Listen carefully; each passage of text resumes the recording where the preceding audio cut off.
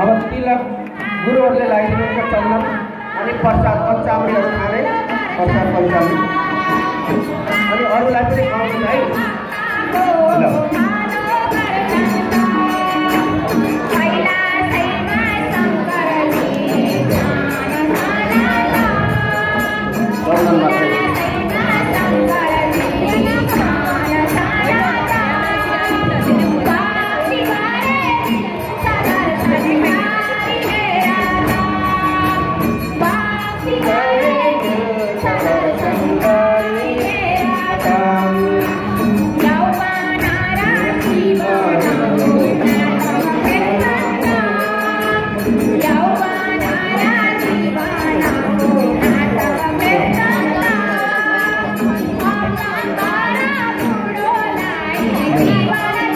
Thank you.